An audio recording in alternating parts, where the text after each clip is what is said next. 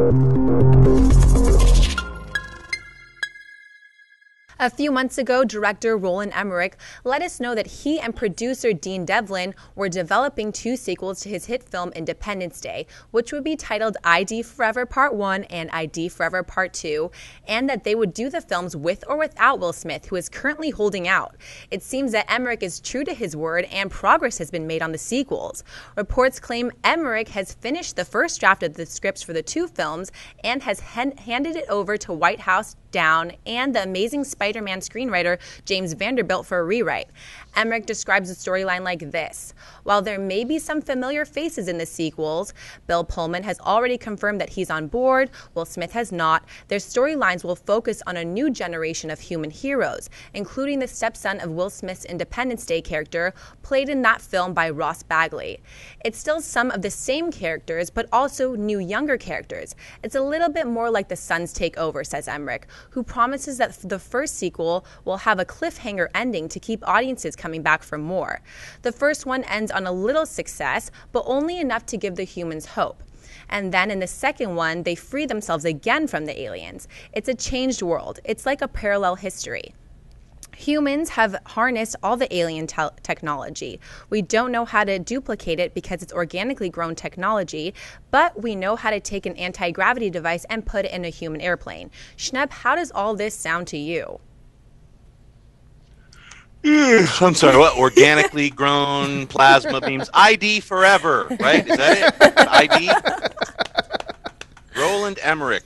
He's at it again. Uh, ID Forever and ID Forever Part 2. Organically grown plasma shields, humans must fight again, then be released successfully, almost success, but then the aliens take over, then come back and see Part 3. I don't know. Uh, I'll see him. Obviously, I'll go see him because I love the first Independence Day and Bill Pullman's awesome. Uh, you know, that's one of these. This is one of those films that I just don't even get why they're making it, other than it made a, a lot of money, and the studios are like, yeah, people will go see it. So that there you go, organically grown humans are really for two hours trying to figure out this alien technology and its parallel universe and how we use it now. Ugh. I, you know what? Oddly enough, this kind of stokes me. I, I actually like what I'm hearing now. Thanks a lot, Roland Emmerich, for all the spoilers. Now we know how the yeah, right? first one's going to end and how the second one's going to end. Um, I like it, and I've, I've always been okay with the idea of doing Independence Day with or without Will Smith. The, the, the crux of Independence Day was not Will Smith's character, it was the whole context of what was going on. And I love that Bill Pullman will be back. Obviously, he can't be the president again unless in that other Earth, you know, presidents are allowed to have six terms. So obviously he won't be the right. president this time around. Maybe his son's the president. Who knows? But yeah, for whatever reason, look, let's face it. ID Part 1 and ID Part 2 are amongst the worst titles ever given to any project in the history John, don't forget Forever. ID Forever. Don't forget the That's Forever right. part. ID forever. forever. Part 1 and ID Forever Part 2. So, I, I mean, I'm going to keep my fingers crossed that these titles will change. But yeah, actually, overall, I got to admit, against my better judgment, I kind of like what I'm hearing. So let's John, hold on to some hope.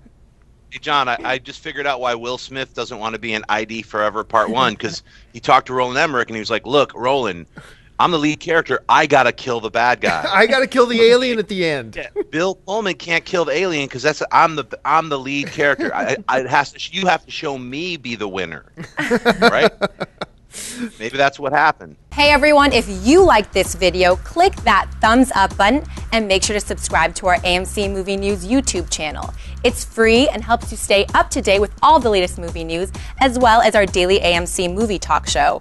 Also, make sure that you follow us on Facebook and Twitter to stay up to date with all of our special promotions, contests, and prize giveaways.